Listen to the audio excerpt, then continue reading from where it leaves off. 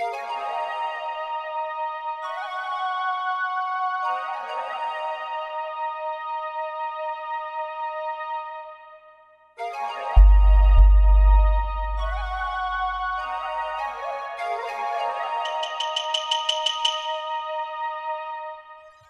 I'm Stanley Pranin, and welcome to Takemusu Aiki.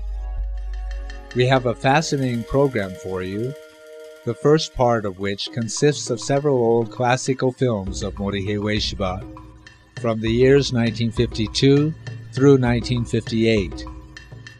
Our program includes five rare film clips shot on location in Wakayama Prefecture, Osaka, and Tokyo.